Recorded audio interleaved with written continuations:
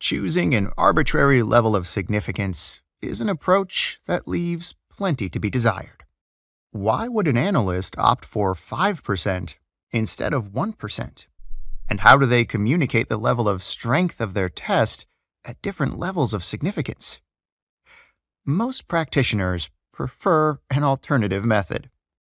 The p-value is the smallest level of significance at which the null hypothesis can be rejected.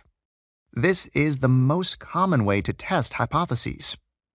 Instead of testing at pre-assigned levels of significance, we can do something different. We can find the smallest level of significance at which we can still reject the null hypothesis, given the observed sample statistic. The hypothesis testing approach we've studied so far leaves plenty to be desired.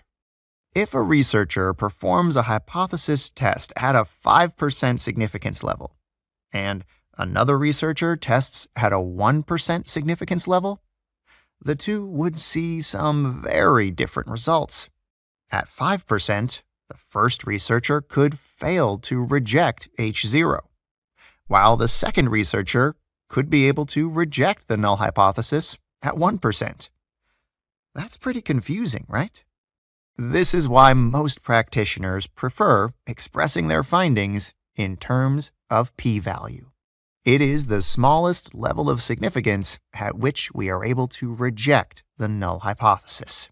In our example with the two researchers, the p-value could be 1.5%.